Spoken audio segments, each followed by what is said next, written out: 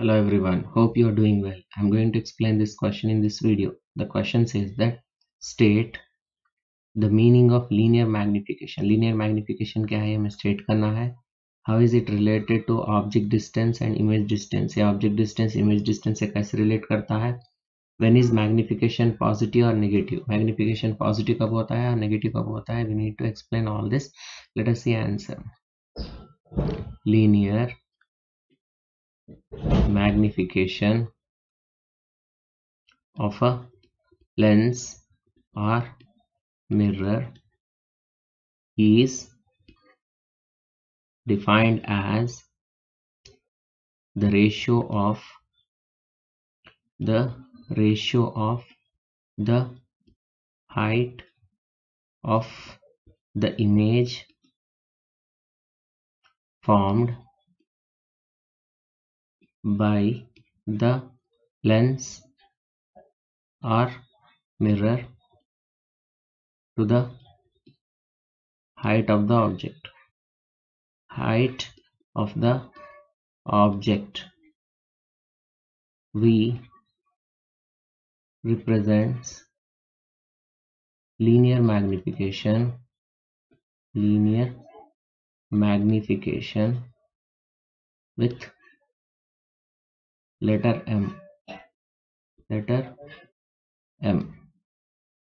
M is equals to hi upon ho or in terms of in terms of the distance of image v and distance of object u from the lens or mirror. We can write we can write magnification as how can we write magnification? Magnification as m is equals to minus v by u. This is for spherical mirror spherical mirror and m is equals to v by u. This is for spherical lens spherical lens.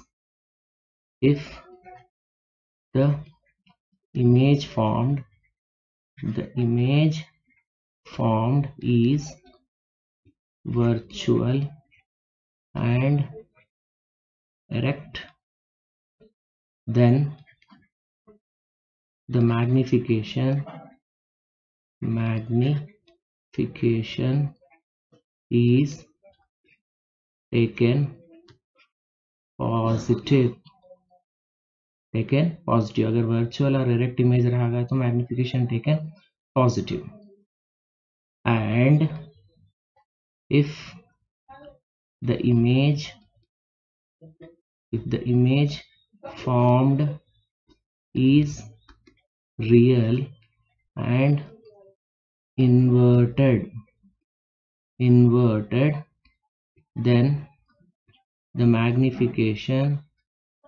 then the magnification is taken as negative. I hope you have understood the explanation. Thank you